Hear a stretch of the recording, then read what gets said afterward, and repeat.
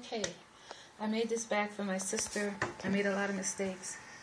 Um, I didn't cut the strings. It was hard for me to do the circles, but it's supposed to be a duffel bag.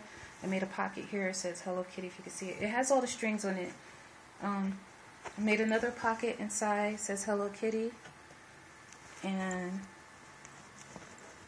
just the other side of it. And let's see. I don't know. I had a hard time with the. I think I did things backwards. Still learning how to do zippers. Like, can't grab it. My hands are kind of frozen. So.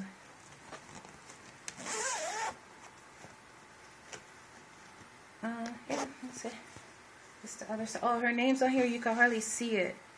Embroidered it too small. So her name's here. Hello Kitty on this pocket. I don't like this kind of thing, but that's how the instructions said to take these two pieces. I don't like that line in the middle. So, I guess that's it. We'll close it up.